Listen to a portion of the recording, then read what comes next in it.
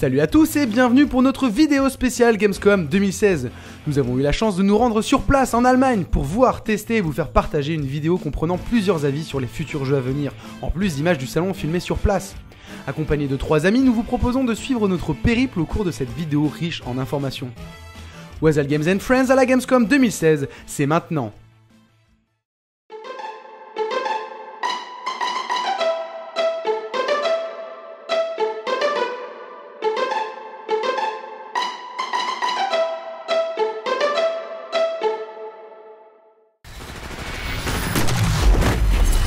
Commence cette vidéo par l'aperçu de Titanfall 2 prévu pour le 28 octobre 2016 sur PS4, Xbox One et PC.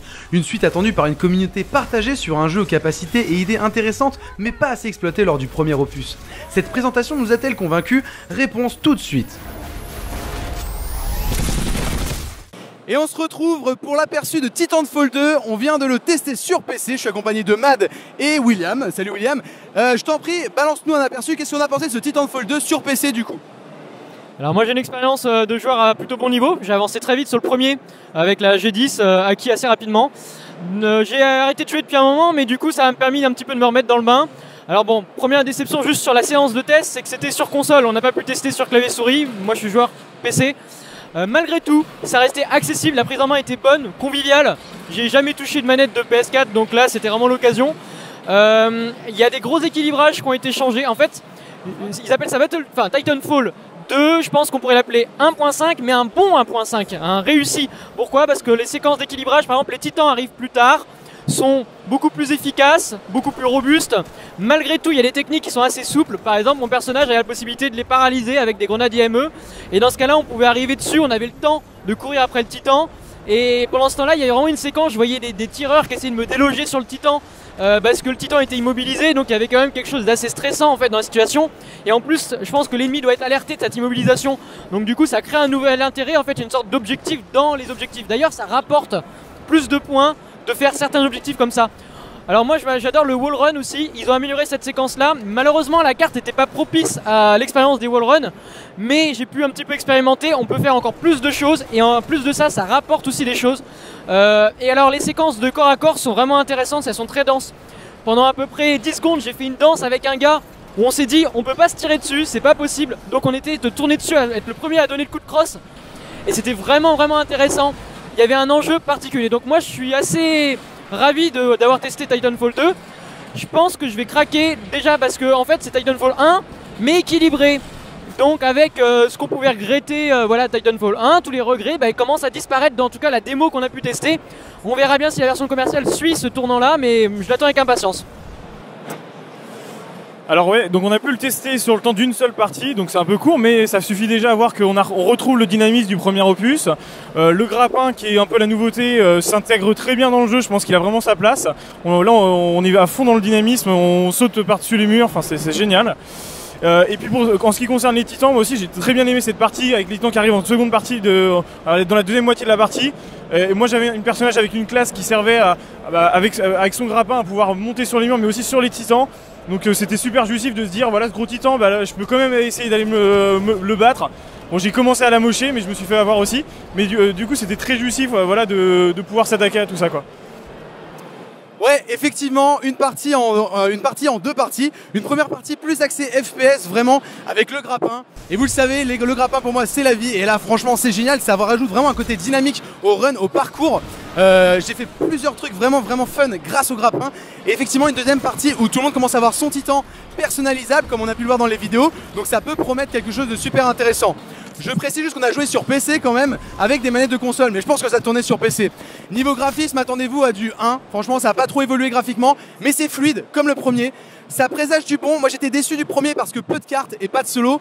On attend un solo. J'espère qu'on aura plus de, cartes multijoueurs et un, et un vrai donc comme William l'a dit, un bon 1.5 je pense, et le grappin, c'est la vie.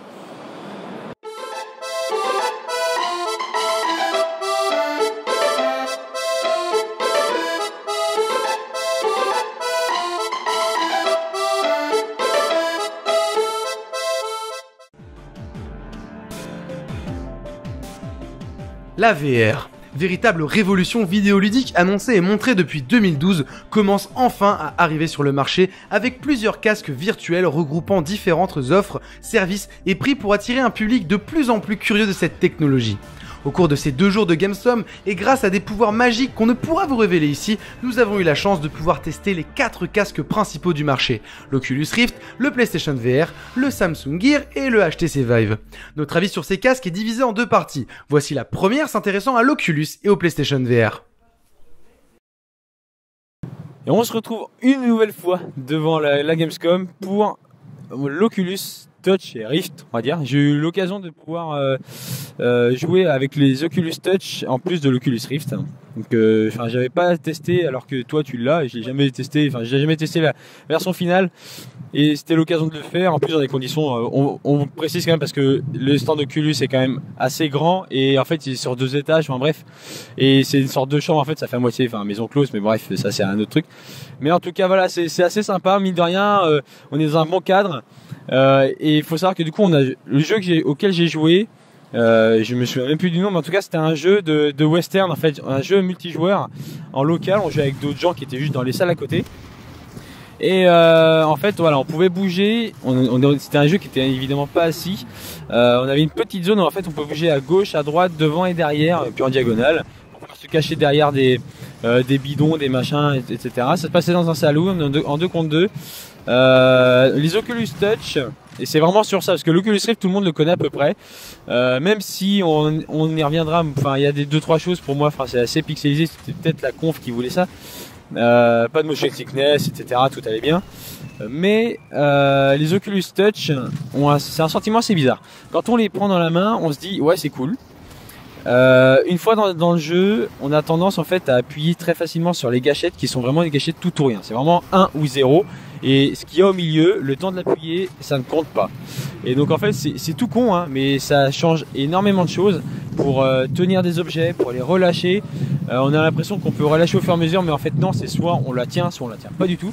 Et dans le feu de l'action, euh, bah, je suis plein de fois parce que j'ai voulu prendre un bâton de dynamite et j'ai pas réussi à le lancer et je me suis retrouvé à mourir très bêtement. Euh, mais voilà, à part ça, euh, l'expérience en elle-même qui a duré 15 minutes était très très plaisante. Après, on va pas rentrer dans le débat de fait d'acheter un Oculus ou pas, c'est pas, on n'est pas là pour ça. Mais le, la, comment dire, l'expérience était vraiment sympa et euh, je me suis vraiment laissé prendre dedans. Enfin voilà, tout simplement. euh, Enfin, je me rendais pas compte parce que j'avais le cas sur la tête, mais moi moitié accroupi et en train de tirer sur des gens, tu sais. euh, Enfin, voilà, j'ai j'ai failli donner des coups à la personne qui, qui, qui, qui était là en plus. Euh, pour le coup, ouais, enfin, c'était, c'était vraiment sympa. Après, voilà, ça reste une démo. Et les Oculus Touch, pour moi, c'est, enfin, ils auraient dû les faire avant et mieux. Voilà, pour moi, c'est, c'est mon ressenti.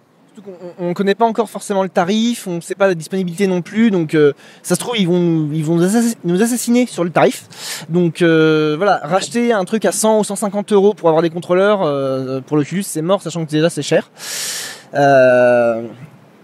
Ouais, moi je, tout ce que j'ai vu, j'ai pas pu les tester du coup pour des raisons de handicap, on va dire. Euh, mais du coup, euh, de ce que j'ai pu voir euh, jouer, euh, ça a l'air de quand même pas trop mal répondre. Euh, après, voilà, c'est fait que sur une petite démo euh, de chez Oculus aussi. C'est ça, c'est vrai que ça répondait bien. Mais voilà, juste un truc que je veux rajouter sur les, sur les, comment dire, les, les Oculus Touch. En fait, sur le dessus, il y a deux boutons. Euh, et ces boutons-là, c'est pareil, sont tout ou rien. Et c'est la matière est plastique. Et quand on appuie dessus, enfin, pourtant les Oculus, enfin, les Oculus Touch, à mon avis, étaient neufs en arrivant là. Ils sont déjà abîmés. En 48 heures de salon, c'est pas bon du tout pour le, pour la suite. quoi. Ça fait vraiment toc et plastoc. Et voilà, c'est, ça, c'est ça le souci en fait. hein. Ouais, carrément, complètement. La finition fait un peu complètement cheap en fait à ce niveau-là. Mais euh, voilà, à, à voir euh, dans le futur sur les versions définitives, euh, parce que là, on sait pas vraiment si c'était les versions définitives. Ça peut ne pas l'être aussi, mais ça paraît quand même vrai. très proche de, de ce que pourrait être une version définitive. À voir. Et on se retrouve devant la Gamescom pour vous parler du PlayStation VR. On vous a parlé de l'Oculus Rift, euh, on va vous parler d'HTC Vive et on va vous parler de la PlayStation VR. On a pu tester les trois casques et euh, pour ça on a fait trois jeux. Euh, Weaven, tu as pu tester. Ocean Descend, Euh, Cam, tu as pu tester. Dangerous Ball, si je dis pas de bêtises. C'est plein de démos en vrai. Et nous on a pu tester un jeu que plein de gens ont déjà testé, c'est The Getaway, un truc avec des flingues et je vais pouvoir en parler. Enfin, anciennement The Gateway, c'est ça, mais là c'est un. Ils ont transformé la licence, voilà. Ils ont adapté ça pour le PlayStation VR. Déjà, premier point technique au niveau du matos, parce que pour le coup, on a pu tester les, les- les- les trois casques. Et le PlayStation VR, euh, vraiment à ce confort, il tient très très bien dans la, dans la tête. Enfin, comme l'Oculus, hein. de toute façon, l'Oculus est très bon. Mais moi, l'Oculus, ce qui me gêne, c'est que je vois tout le temps le- l'extérieur en fait. Moi, au niveau des yeux en bas, je vois littéralement les choses. Et là, la PlayStation VR, on a du bon caoutchouc qui remplit bien les yeux. On est bien bloqué dans notre casque. Et ça, ça fait plaisir. En vrai, je l'ai pas senti lourd, il est très fluide. Donc ça, c'était très cool. On a pu jouer donc à The Gateway. C'est un jeu qui se joue avec des PlayStation Move. Et donc, c'est la première fois que j'ai pu tester ce rapport avec les mains où on peut prendre des objets. Et ça reste pour moi les plus bas des prototypes. Je pense que, bah, Cam, t'as pas trop aimé l'Oculus Touch, mais je pense que ça, serait- ça reste quand même mieux. Parce que le Move, ça reste le moins bien, je pense. Et l'HTC Vive est largement dessus. Et ben quand même, le PlayStation Move fait l'affaire. On s'y croit, on a vraiment les objets en main, on a à savoir des guns. Quoi qu'au début, on est dans une voiture, on peut boire du coca, euh, faire des trucs. C'est vraiment incroyable. C'est une expérience vidéoludique, ça va pas révolutionner les jeux vidéo. C'est comme au parc d'attraction. On a passé 15-20 minutes avec Mad.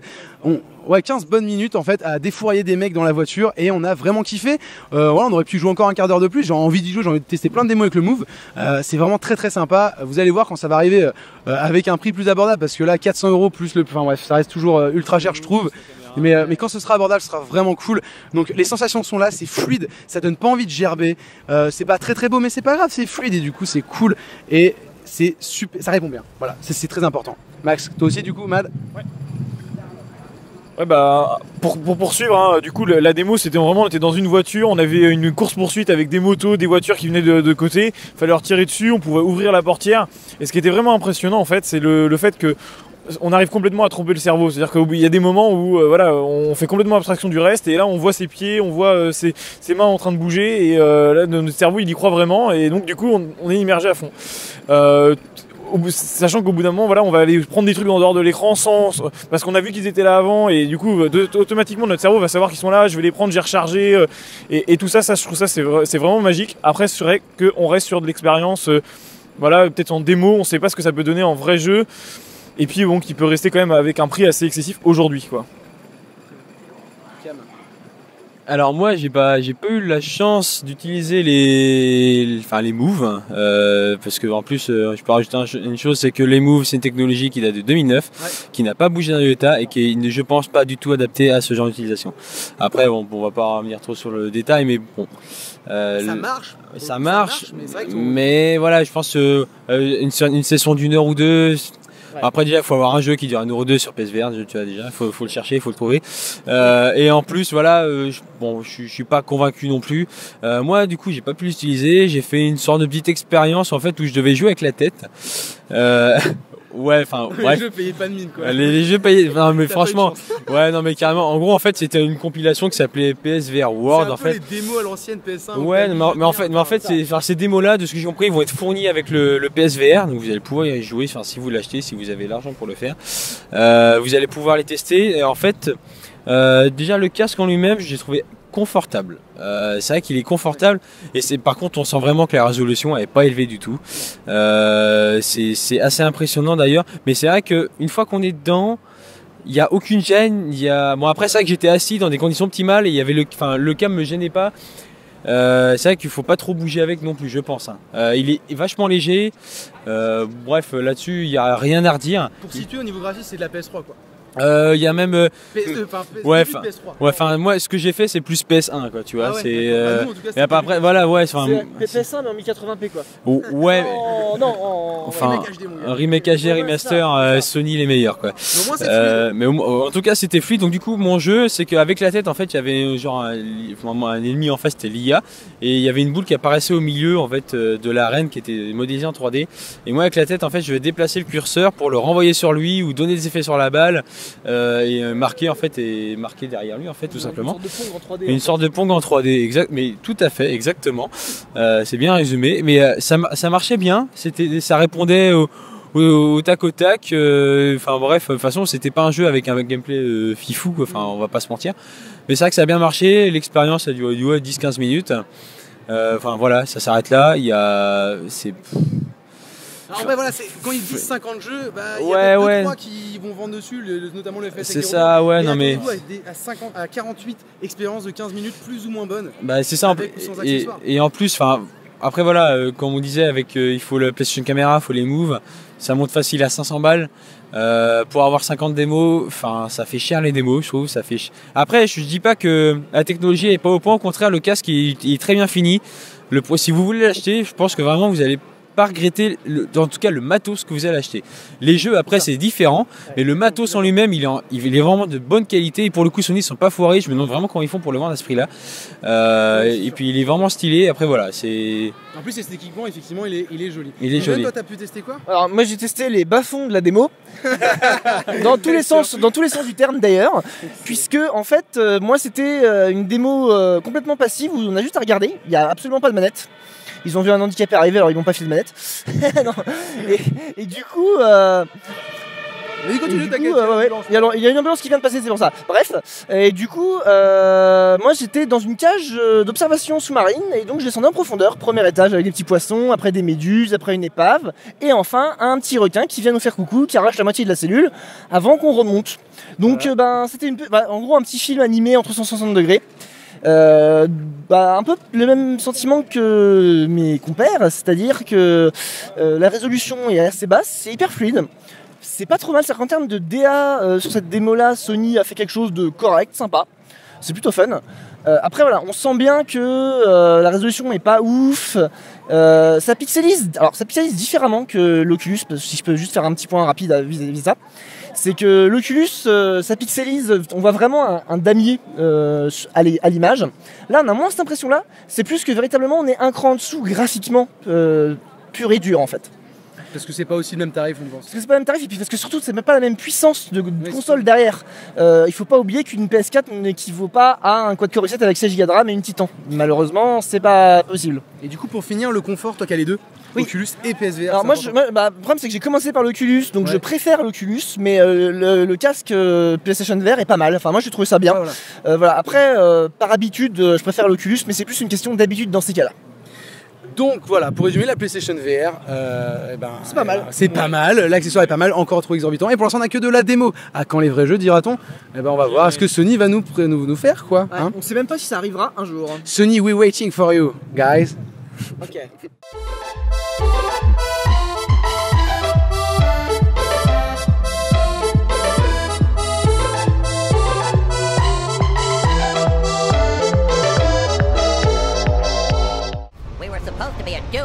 Remember, Tweak? Yeah, I remember. So when I walked out on Coon and Friends, you should have walked out with me. I like Coon and Friends. South Park, série d'animation mythique créée par Trey Parker et Matt Stones en 1999, a su se faire une très bonne place dans le jeu vidéo en 2014 avec le bâton de la vérité en français ou The Stick of Truth en anglais, qui a su admirablement rester fidèle à la série avec un gameplay très fun et un univers toujours aussi barré. Les fans en redemandent et attendent la suite intitulée South Park l'annale du destin, prévue pour le 6 décembre prochain sur PC, PS4 et Xbox One. Cam et Weaven ont pu voir une présentation du début du jeu et vous en parlent tout de suite. Salut à tous, on se retrouve devant le salon de la Gamescom. On a pu voir, en tout cas voir, South Park, euh, une version qui était à mon avis assez avancée. Euh, on a pu voir une partie didacticielle euh, et une partie un peu plus tard dans le jeu où voilà les mécaniques de base sont, sont mis en place. Ah bah South Park c'est quoi les gars? Et bah South Park c'est comme l'autre, graphiquement c'est pareil, c'est le même univers sauf que là ils sont partis du délire euh, bâton de la vérité et ils sont plus sur euh, les super-héros. Et en fait ils veulent juste faire un, gros mix de, enfin pas The Avengers, enfin si en fait c'est ça, faire The Avengers mais en version en version South Park. Et ils se font la guerre. Voilà un peu le pitch euh, du truc. Euh, Moi ce que j'ai remarqué au niveau des changements, au niveau du gameplay, euh, y a, on oublie ce système de, timer. À un moment donné, en fait, dans le premier, on devait lancer, on avait un certain temps pour lancer les sorts. Maintenant, c'est beaucoup plus posé, il n'y a plus ça. Il y a tout un système de quadrillage. Chaque personne a un champ d'action, chaque personnage en fonction de là où il se trouve, et les sorts pareil. Et donc du coup, ça rend le truc. Bah voilà, en fait, dans le premier, on avait tendance des fois un peu à envoyer la sauce sans trop réfléchir, tu vois. Et bon, au final, on se retrouve avec un truc qui, bah voilà, qui, envoie du pâté. Je trouve, personnellement, moi, j'étais vraiment, c'est une présentation. J'aurais aimé jouer mine de rien, mais j'ai vu le truc qui me plaît, c'est toujours si marrant. euh, Il y a toujours ce, bah, enfin là, l'humour ce Spark, enfin tout le monde connaît. Euh, on a pu voir une personne mettre sur le nez le Nautilus Rift, mon gars, euh, et qui ressentait les odeurs de peste. Qu'en fait, oui, avec le personnage en jeu, tu peux péter quand tu veux, et ça donne des trucs. Du coup, en fait, ça a été retranscrit dans le masque. C'est pas un casque, mais un masque. Euh, et le mec se tordait de douleur tellement ça puait la mort. Euh, voilà, un moment assez assez fun. Tu commences par ça dans la journée. Je pense que voilà, ça nous a ça nous avait bien bien fait marrer. Mais en tout cas, le jeu, je l'attends énormément. De toute façon, euh, le premier est bien convaincu. Là, les mécaniques qui vont changer, euh, voilà, me semble être prometteux. J'attends de voir un peu les différentes classes qui vont proposer, parce que là, on a pu en voir que trois et encore vite fait. Il y en a plein. Je sais pas comment on va les débloquer, etc. Mais en tout cas, ça semble prometteur. Eh ben, que rajouter de plus à ça? Non, super démonstration comme comme on vient de dire. Voilà, euh, le ça, ça ressemble au 1 en version. Ils ont amélioré un peu tous les points, je trouve, à ce niveau-là. Les interactions sont encore plus fun. Il y a encore plus d'interactions avec euh, le monde, on va dire, de South Park. Dans le décor, voilà. Notamment, on a vu une phase d'action avec euh, qui s'arrête parce que les voitures euh, passent. C'est une scène d'action en pleine en pleine rue et à un moment, euh, voilà, on entend car car, euh, tout le monde s'arrête et, et du coup, le combat reprend avec euh, un positionnement aléatoire. Du coup, euh, voilà, que des choses intéressantes. euh, voilà, pour un- c'était notre premier premier test de la journée et franchement, euh, voilà, c'était carrément bien.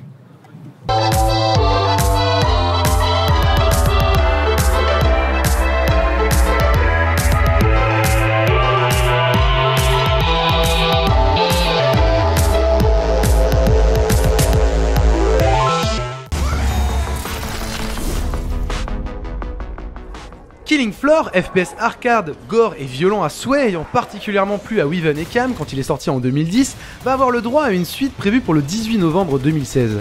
C'est avec intérêt que nos deux compères ont pu s'essayer à une phase de gameplay qu'ils vous font partager tout de suite. Et on se retrouve en effet pour Killing Floor 2, 2, 2, qu'on a pu jouer sur PC. Les gars, on a joué sur PC avec un pad euh, PS4. Et c'est plutôt Cam qui a joué, donc je vais te donner la parole, Cam. Tu vas pouvoir jouer. Tu as testé Killing Floor 2 du coup, la suite du premier. Eh oui. Captain Obvious est avec nous, évidemment. D'accord, je vais pas relever ce que tu viens de dire. Euh, en effet, euh, Killing Floor 2, euh, suite du d'un premier jeu qui était assez sympa, qui a commencé mine de rien, qui a, enfin, qui a plutôt bien marché. Euh, là, c'est à peu près la même recette, donc je vais juste parler un peu de, de quoi j'ai joué. J'ai joué en multijoueur, en coop multijoueur en ligne, où en fait euh, il y avait des vagues de, enfin c'est même pas des zombies, c'est des monstres un peu chelous avec des katanas qui viennent te de te trancher la gorge. Euh, et toi, en fait, ton but, c'est bah, évidemment de te défendre et tu as plusieurs vagues. Euh, je qu'on est mort à la vague 3 Sur 4. sur 4. Euh, parce que, Et du coup, tu joues à 4. voilà, je vais rester poli parce qu'il y a des gens qui regardent, mais voilà, tu sais ce que je pense. Euh, en tout cas, euh, d'ailleurs, tu m'as coupé dans mon fil. En, en tout cas, il y a- le truc, en fait, c'est toujours le même délire. C'est-à-dire que c'est c'est complètement barré, il y a des il y a de l'hémoglobine partout, c'est un univers très très très sombre avec des monstres qui ressemblent à rien, sans déconner. Il y a même un monstre qui est, on dirait un mec, mais en fait on lui a enlevé la peau et il, il veut venir te troncher avec une euh, avec un sabre que toi aussi tu peux avoir et tu peux faire pareil. Euh, le jeu est assez cool en coop. Alors c'est vrai que par contre, j'avais pas tout le trip de la communication avec les gens. D'une parce qu'elle avait pas la langue et de deux, j'avais pas de micro sur mon casque. Euh, donc forcément, ça n'aide pas. Mais en tout cas, c'est un jeu qui est assez fun. Euh, dans la ligne du premier, euh, qui est plus beau graphiquement, voilà, qui va rajouter euh, pas mal de choses. Euh, J'en attendais pas spécialement grand chose, hein, parce que voilà, j'étais pas forcément venu là pour jouer à Killing Floor 2, hein, pas se le cacher. Mais en tout cas, voilà, assez bonne surprise et encore un bon FPS qui va arriver sur PC et malheureusement sur console évidemment, parce que ah, il n'y a pas le choix aujourd'hui. Oui, alors je rajouterais donc effectivement qu'il y a aussi un solo. Il paraît que c'est une marque, une bonne marque de fabrique pour les King Floor. Je suis curieux de voir ça parce que pour le coup, là, on a eu le droit à du nazi zombie. C'est en gros des vagues d'ennemis. Mais si, moi, ça m'a vraiment fait passer au nazi zombie. Pourquoi? Mais si, parce qu'on va chercher du stuff après chaque vague. C'est ça, ça me fait penser à ça. C'est-à-dire qu'on gagne de la tutune qu'on va dépenser pour acheter des armes et pour upgrade ses persos. Des places dans le Oui, je sais, bien sûr. Je dis ça ressemble. Ce n'est pas un nazi zombie. Moi, ça m'a fait penser à ça en tout cas en tant que joueur. Et euh, ça, j'ai aimé. Par contre, ce côté personnalisation en fait, qui du coup rajoute un petit truc en plus. On peut personnaliser son personnage en amont dans le dans le hub. Euh, physiquement, on peut lui rajouter des compétences, je crois, les gars. Des, des- des- on peut on peut vraiment le personnaliser. Ouais. Donc ça, c'est cool pour une choix stratégique. Ça peut être intéressant parce que j'imagine qu'il y a plein d'autres modes de, map et donc de monstres, etc. Donc effectivement, ça a l'air plutôt fun. Euh, je vais pas trouver si joli que ça, par contre. Euh, en LAN, moi c'est en LAN. euh, Vraiment, je voudrais vraiment le tester en LAN. Euh, Ça, ça peut vraiment être un Left 4 Dead 2, un Left 4 Dead, tu vois, enfin un nouveau type de jeu comme un Left 4 Dead. En LAN, ça peut être vraiment cool. Un Left 4 Dead like. Merci Cam. Wiven, tu l'as aussi vu toi? Ben moi je rajouterais juste que donc il y a quand même pas mal, on a vu quand même pas mal de customisation même aussi dans les dans les parties, dans les modes. C'est-à-dire que là on a fait un- un- une partie pour la démo en 4 rounds, donc quelque chose d'assez rapide. Mais comme dans Killing Floor 1, c'est complètement personnalisable et ça monte jusqu'à je pense 20 ou 40 vagues euh, pour des gros gros marathons. Et euh, donc voilà, donc on retrouve un petit peu les éléments qui faisaient, euh, qui faisaient que le 1 marchait euh, dans le 2 là pour l'instant. Et, euh, et voilà, ça va être un bon petit FPS en effet pour de la LAN et pour, euh, pour du multi avec des potes. euh, voilà. Sans prétention, mais bien, bien fait.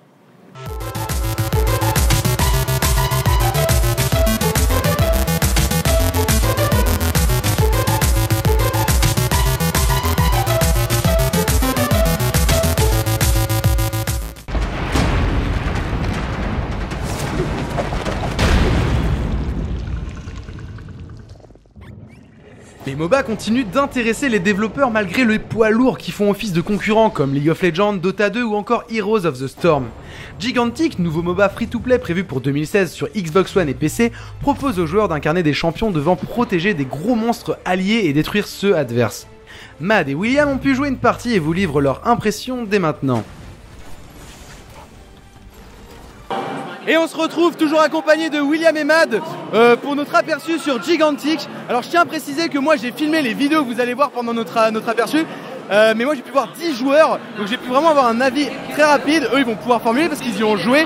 Je trouve le jeu esthétiquement très réussi. Il faut savoir que c'est un free to play. Moi je le trouve vraiment, voilà, il m'a mis, il m'a vraiment intrigué déjà graphiquement. Et je trouve que par rapport aux autres MOBA qui se font, il se distingue un peu. J'ai, trouvé voilà qu'il y avait, il y avait une des petites nouveautés. Voilà, vu à la troisième personne, ça a l'air très dynamique. Voilà, moi, moi j'étais intéressé à un gameplay qui a l'air fluide, très fluide, très dynamique. J'ai vraiment, je suis curieux sur Gigantic. Voilà, voilà, vue d'extérieur, je suis curieux, c'est beau, ça a l'air fluide et dynamique. On va voir ce que les camarades en ont pensé vu qu'ils y ont joué. Mad, qu'est-ce qu'on a pensé? Euh, eh ben, de même que toi, moi je trouve que la pack graphique est franchement adorable, ça donne vraiment envie d'y jouer. Alors après moi j'ai joué un, personnage qui jouait assist durant la partie, donc assez difficile à prendre en main, d'autant que les instructions étaient en allemand. Euh, maintenant ça reste quand même euh, super dynamique aussi. On, a eu du mal à voir notre jeu en équipe, mais on voit que derrière il y a un potentiel euh, si on peut vraiment jouer par micro, s'entraider, la capture de points, les, les mobs fixes, euh, le, gros monstre euh, qui, vraiment envoie du lourd. Je- pense que là-dessus, on peut quand même avoir un jeu qui va amener un public plus large. On reste sur un MOBA, donc il y en a plusieurs qui, se, sont sortent actuellement. Je trouve que ça ressemble beaucoup à Smite. Maintenant, avec un côté peut-être plus cartoon, avec des animations qui donnent un peu plus accès à grand public. On va voir euh, William. Alors moi j'ai joué Imani, c'est un ranger en fait qui tire avec des flèches, enfin une arbalète plutôt je crois.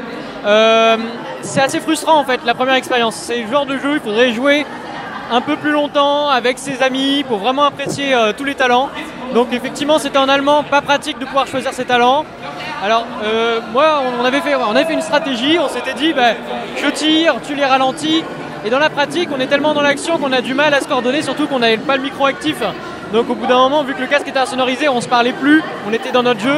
Euh, Il y a aussi une difficulté, c'est que je me suis dit je vais pouvoir apprécier la distance parce que Imani en fait elle peut faire des, des- des shots avec beaucoup de dégâts si elle se recule et elle prend le temps de viser. Et le problème c'est qu'on se retrouvait trop souvent au contact.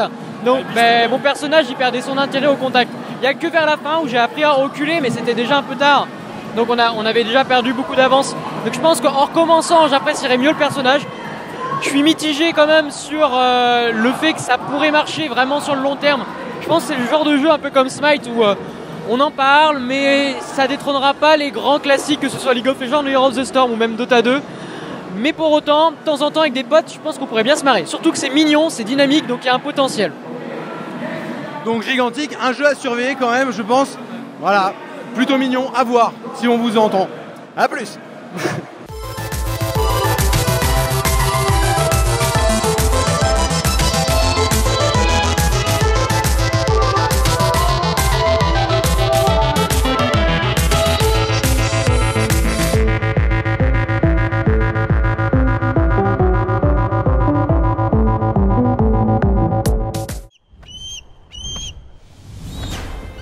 Annoncé à l'E3 2016 par Ubisoft, Eagle Fight, jeu VR prévu sur PS4 et PC, nous propose d'incarner un aigle survolant Paris, dévasté par une nature colorée et rayonnante ayant repris ses droits. Le but du jeu est simple, armé d'un casque VR sur la tête nous permettant de contrôler à l'aide de nos mouvements de tête l'aigle en question, il va falloir attraper par équipe de 3 une proie en premier contre une autre équipe de 3 aigles contrôlée par des joueurs.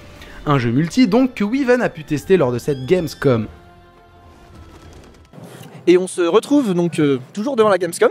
Et cette fois-ci, je vais vous parler de Eagle Fight, un petit jeu, enfin petit, un jeu de chez Ubisoft euh, fait pour la VR. Donc il sera compatible euh, Oculus, HTC Vive et PlayStation VR. Et donc bah, dans le jeu, clairement on contrôle un piaf avec la tête. et le rendu est assez génial. On a vraiment l'impression de, de voler. Autant dans la fluidité du mouvement, dans la fluidité du gameplay, dans les décors euh, qui sont dédiés, c'est-à-dire un peu la ville de Paris. Euh, vraiment, on a un super ressenti. Euh, pour ce qui est du mode de jeu présenté pour l'instant, donc il y a un mode de jeu. D'ailleurs, je crois qu'il y aura un qu'un seul mode de jeu en multijoueur, voilà, définitif. Donc c'est une sorte de capture de flag où vous avez à récupérer une proie qui va popper à un endroit de la carte et la déposer à un endroit qui est aussi lui aléatoire. Et donc c'est en équipe et c'est la première équipe qui arrive à le faire. Et donc pour ceci, donc vous volez, vous pouvez accélérer, freiner et euh, tirer des projectiles euh, qui partent en ligne droite avec euh, une certaine lenteur, donc il y a quand même une lecture de trajectoire à faire un petit peu. Et oui, il y a aussi un shield qui permet justement de se protéger de ça. Euh, donc ça se fait en équipe, Euh, là on est en équipe de 3 contre 3 je crois, ou 4 contre 4, 3 contre 3. Ouais. Et, euh, et voilà, et franchement le ressenti était vraiment génial.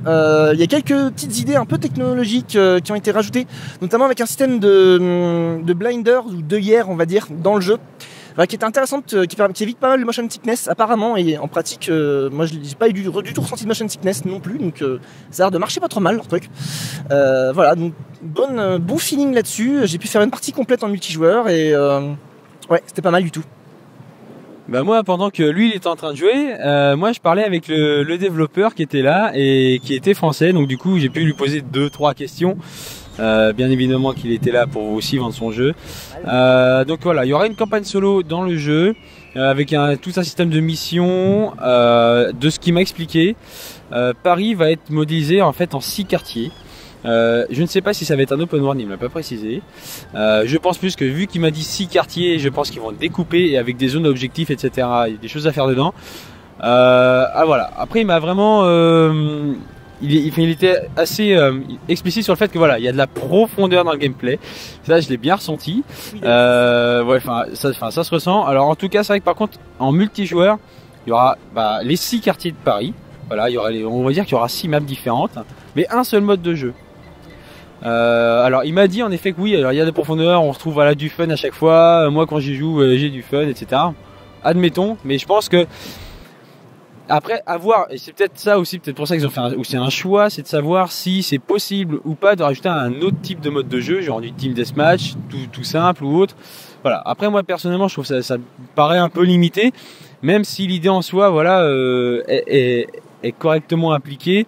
J'aimerais rajouter quand même quelque chose sur la partie technique euh, du jeu. C'est vrai que c'est la première fois que je vois un Paris modélisé avec autant de verdure.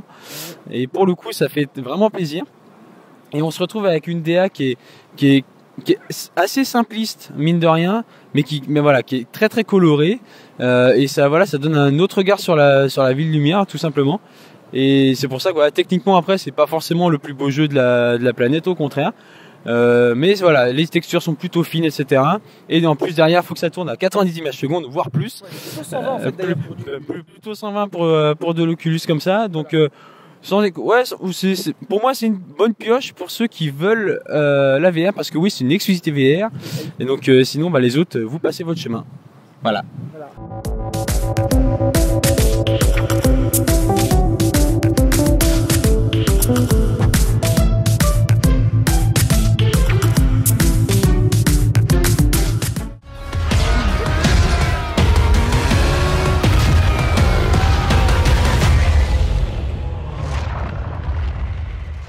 Paris osé que de faire un FPS sur la première guerre mondiale. Battlefield 1 veut innover en proposant un FPS sur une période peu exploitée dans le jeu vidéo. Arborant fièrement le moteur graphique Frostbite 3, ce Battlefield veut en faire beaucoup plus qu'être un simple skin. Il veut proposer une ambiance riche en détails, un gameplay plus nerveux se concentrant davantage sur des combats rapprochés, ainsi que des nouveautés laissant présager de bonnes surprises. Oublions deux minutes que les Français et les Russes arriveront en DLC, ce qui est très mal lu par la communauté, et écoutons Ellie, Mad et Weaven nous parler de ce Battlefield 1 prévu pour le 21 octobre 2016. C'est, j'allais dire salut à tous. Et on se retrouve pour Battlefield 1, en effet, qu'on a pu tester sur PC à 32 contre 32 dans une grande place avec plein de PC. C'était assez impressionnant. Et on n'a même pas eu besoin de faire 5 heures d'attente. Et ça, c'est magnifique. Donc on a pu y jouer. C'était sur la map du désert du Sahara. Je, la, le désert du quoi, les gars? de ce désert du Sinaï, merci. Et euh, donc on a pu y jouer, euh, Max et moi, et Weaven. Et donc euh, Max, je t'en prie, qu'est-ce que t'en as pensé de ce Battlefield 1 Et bien donc déjà euh, en rapport avec l'univers, donc on est tout de suite dedans avec euh, du coup euh, des costumes, des armes qui donnent envie. Moi ce que j'ai spécialement apprécié c'est les effets spéciaux qui vont avec les armes. C'est-à-dire que les, on voit les balles passer, siffler autour de nous, on a, ce qui fait que du coup c'est beaucoup plus immersif. Euh, ensuite donc on a quelques nouveaux moyens de transport. Donc là on est sur une carte où à un moment on a un train qui a déboulé au milieu de la carte, on a et qui se met à canarder partout parce que l'équipe adverse a, réussi à prendre pas mal de points. Ça c'était vachement impressionnant. Euh, ou même encore les chevaux qui, sont plutôt euh, sympas à jouer. Euh, donc euh, pour l'instant on avait quatre classes à jouer. Euh, On est sur un gameplay de Battlefield qui se ressemble hein, euh, à ce qu'on connaît. Donc bah, ceux qui aiment Battlefield vont, aussi aimer celui-là. Si ce n'est que on est sur une thématique euh, bah, typiquement Première Guerre mondiale avec des armes plus vieilles, avec une touche de moderne. Mais j'ai laissé Flo en par- parler de ça. Je crois qu'il y a une partie qui l'a dérangé. Euh, oui, en effet. Ben, je vais dire mon avis. Je, je veux finir, moi, les gars. C'était le jeu que j'attendais le plus. Mais Weaven, toi, tu as pu du coup voir euh, Ouais. nos parties et mon skill. Hein, j'ai fini premier. Deux- deuxième. Deux. Il a fini deuxième. Bref, euh, ouais, non, moi j'ai bah, j'ai retrouvé de ce que, enfin, un Battlefield, voilà, dans- avec un skin de, de la Première Guerre mondiale, bien upgradé graphiquement. Euh, moi, je parlerais bien aussi de la bande son et du, globalement des bruitages parce que euh, je me suis retrouvé avec le casque sur les oreilles pendant quelques temps là, et du coup, euh, j'ai pu vraiment profiter des, effets de son et de la spécialisation du son que j'ai trouvé assez bonne et assez réaliste, qui aide vachement. Pareil pour ce qui est des effets spéciaux, des effets de sable, de tempête, vu qu'on était bah, dans le désert. C'était pas mal foutu aussi. Les vues dans les, mm, dans les véhicules étaient bien. Euh, globalement, j'ai re- j'ai retrouvé ce qu'il y a dans un Battlefield, c'est-à-dire de la customisation un peu à outrance avec pas mal de classes, pas mal d'armes, de choix de bah, d'équipements, euh, du véhicule, du combat au sol, euh, des classes spéciales, bref, que des trucs rigolos. En effet, en effet, Battlefield 1, du coup, gros gros jeu, moi que j'attendais parce que c'était la Première Guerre mondiale et je vais du coup en faire une très bonne transition sur les défauts que j'ai eu, à savoir que la Première Guerre mondiale, j'aime bien le, côté réaliste euh, que ça a et là ils ont introduit deux choses qui m'ont dérangé, à savoir que à tout moment, je sais pas si c'est un joueur qui a pris possession, mais il y a un mec qui était en full armure, genre Terminator avec une sulfateuse et on avait trop de mal à, le buter. Ça pouvait peut-être être drôle, mais en vrai, moi ça m'a cassé l'am- l'ambiance en fait qui est, très très très bien réussie dans ce jeu. Euh, ça a cassé un peu le délire et euh, on a vu une vidéo juste avant de jouer et, et il paraît qu'il y a des snipers qui, qui, qui one shot des tanks, en tout cas qui abîment des tanks. Alors ça, ça aussi, ça m'a aussi dérangé. Mais hormis ça, Battlefield 1, effectivement, très très très joli, vraiment. Bah, c'est un bon bon bon Battlefield avec des effets de partout, une bande sonore qui claque, voilà, du son, ça t'arrive de partout avec le casque, c'est vraiment excellent. Euh, le sniper, moi j'aimerais vraiment parler de ça rapidement parce que le sniper, ils ont vraiment modifié sniper et on a vraiment un côté un petit peu réaliste où il faut vraiment bien viser sur. Vraiment, il y a, y a le, le vent qui joue, il y a, y a tout ça. Et du coup, j'ai skillé, moi en plus, j'ai fait 6 six shoots euh, de, à distance euh, et c'était vraiment vraiment cool. Euh, le cheval, nouveauté qui est vraiment cool. Les avions, ils ont ré- réajusté, ils ont fait tout un nouveau bah, euh, système de pilotage qui est vraiment cool en effet. Et il y a tout, tout, tout ce qu'on aime dans un Battlefield avec un très bon patch en effet de la Première Guerre mondiale. À savoir qu'il n'y en a jamais eu de jeu sur la Première Guerre mondiale à part Verdun. Voilà. Que j'ai- non mais t'inquiète pas, mais de gros jeux quoi. C'est c'est Battlefield qui s'attaque à une, à une guerre qu'on a peu vue et ça fait plaisir. C'est réussi, j'en attendais beaucoup et je ne suis pas déçu. Battlefield 1 les gars, ça va envoyer du lourd, je vous le promets. Allez-y, jouez à la bêta le 31 août, on le rappelle, sur PC et sur console. Voilà. Voilà. Mais oh les gars.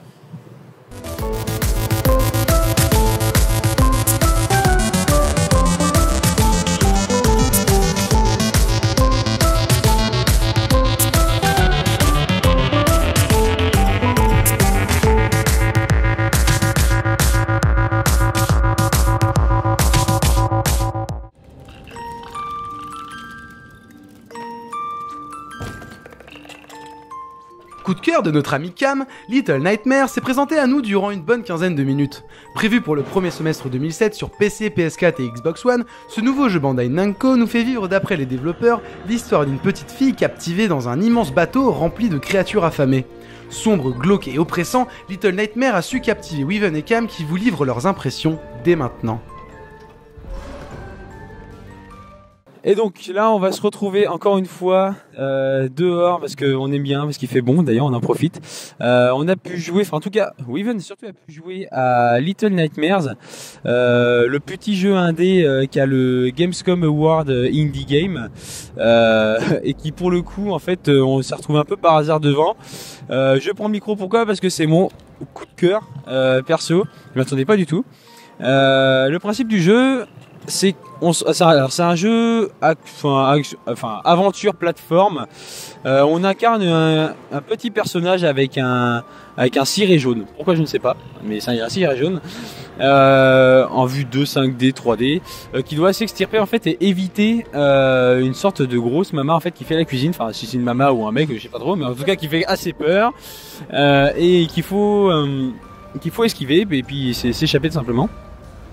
Euh, voilà, dit comme ça, ça, ça vend pas du rêve, euh, mais ce jeu a une patte artistique et dégage quelque chose. Après, moi, je, c'est pour le coup, c'est un coup de cœur, je l'explique pas trop pourquoi.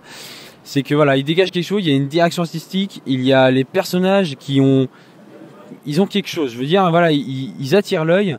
Euh, il y a un petit grain aussi de, il y a un petit grain sur l'image, un petit filtre euh, qui rajoute, enfin qui gomme les défauts évidemment, hein, parce que c'est un- un- une pastiche technique pour enlever, euh, voilà, c'est de l'aliasing, etc. Mais là, du coup, ça rajoute du charme au jeu, euh, qui, a priori, niveau gameplay, moi, de ce que j'ai vu, euh, de ce qu'a joué Weaven, euh, me paraissait assez simple.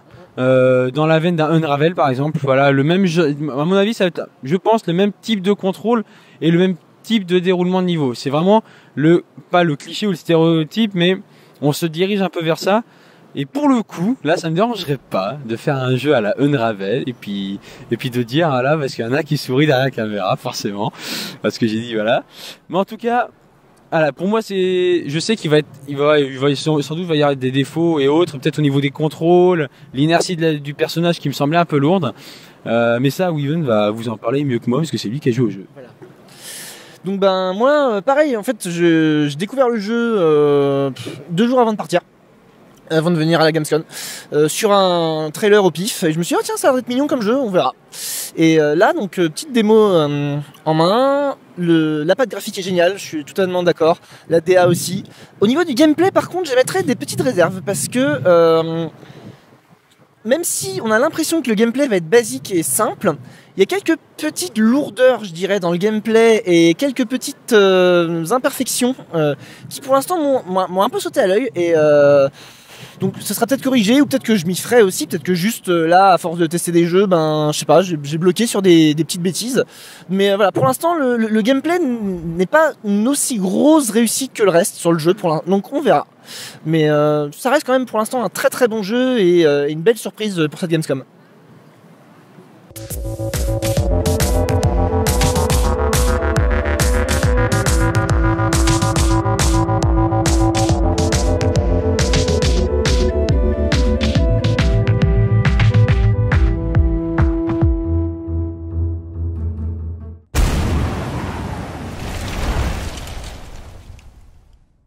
今ここで和美殿との約束果たそうぞ和美の名貴様 Après Street Fighter V sorti en 2016, c'est au tour de la saga Tekken de revenir sur les devants de la scène avec Tekken 7 attendu pour début 2017, sur les deux générations de consoles et PC.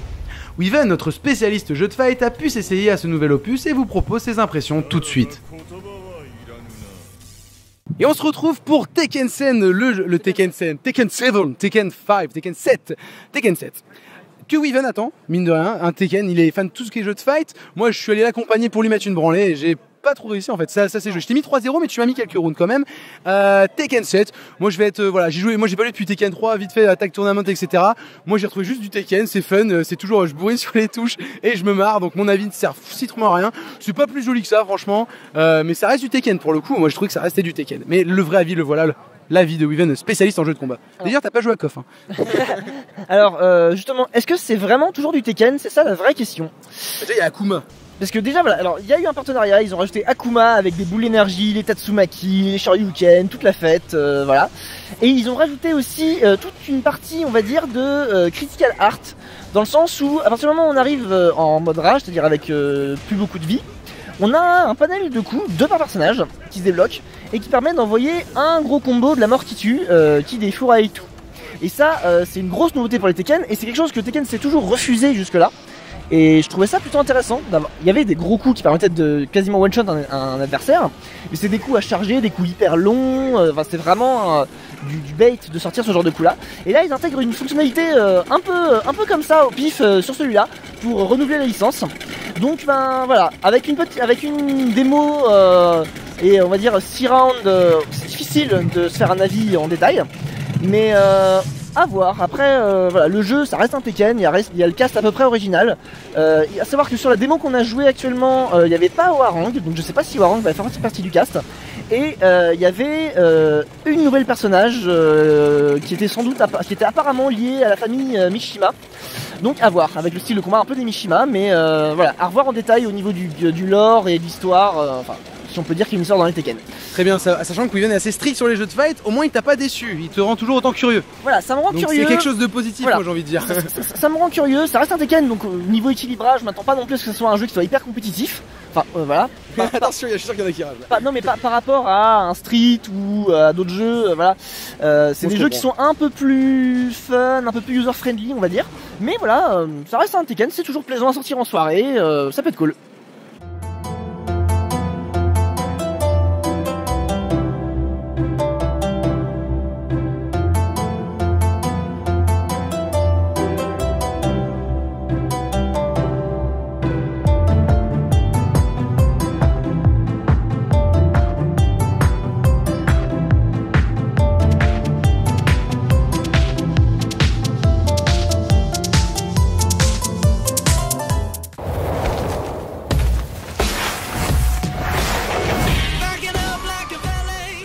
Annoncée à l'E3 2016, la nouvelle licence de sport extrême Steep, proposant aux joueurs d'incarner des persos pratiquant le ski, le snowboard, le parapente et même le wingsuit, dans un open world riche en épreuves variées d'après les développeurs, prévu pour le 2 décembre 2016 sur PC, PS4 et Xbox One, s'est laissé approcher par Weaven et Cam.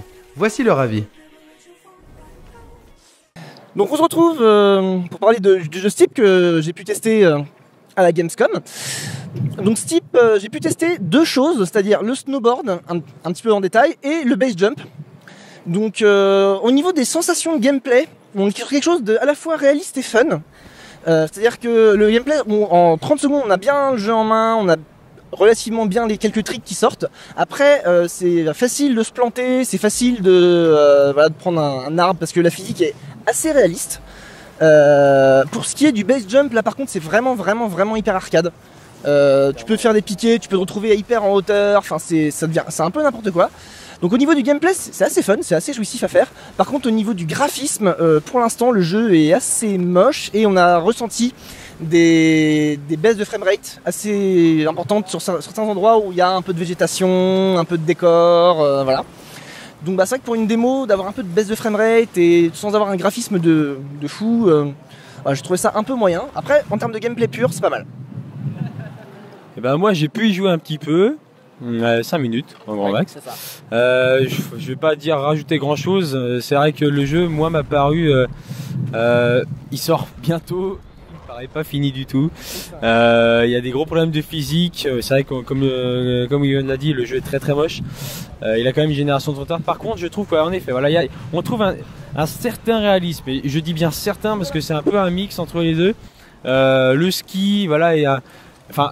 Le ski et le snowboard, le snowboard pour moi se ressemblent trop. Euh, après voilà, on peut faire des figures plutôt sympas. J'ai encore du mal vraiment à situer le jeu où le jeu veut aller en fait. Tout simplement, c'est un open world. On peut se déplacer sur la carte, on peut faire un peu ce qu'on veut, rencontrer d'autres gens, mais on sait pas trop pour qui ni pourquoi. Il n'y a pas d'objectif trop trop précis à part des courses et de finir premier, tu vois. Mais à part ça, il y a bon, enfin, je vois pas trop là où ils veulent en venir là-dessus. C'est clairement. Je crois qu'à l'E3, ils avaient parlé du fait que justement, ils voulaient pas mettre de but. C'était vraiment, c'est pour la glisse, quoi. C'est pour le sport extrême. Juste euh, point barre.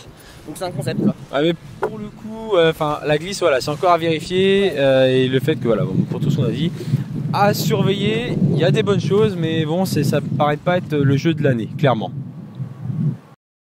Petite pause dans notre vidéo, cliquez juste ici si vous voulez voir la suite. On parle de l'HTC Vive, For Honor, de jeux indés. On reste dans la même ambiance, hein. Les coulisses, des vidéos, des avis, etc. On espère vous retrouver tout de suite pour la partie 2 de notre vidéo Gamescom.